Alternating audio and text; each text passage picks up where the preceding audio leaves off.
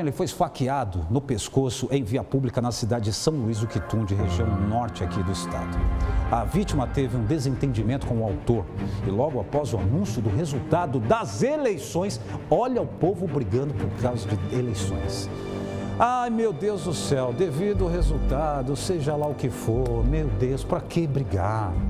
Depois de efetuar aí o golpe, o homem acabou sendo espancado pela população que estava no local. A vítima foi socorrida ao Hospital Municipal José Augusto, no centro da cidade. Logo depois foi encaminhada ao Hospital Regional do Norte, em Porto Calvo. Já o autor o, o, o, cara que meteu a faca aí, conduzido é, por uma equipe da Guarda Municipal. Parabéns à equipe da Guarda Municipal aí, desse município, né?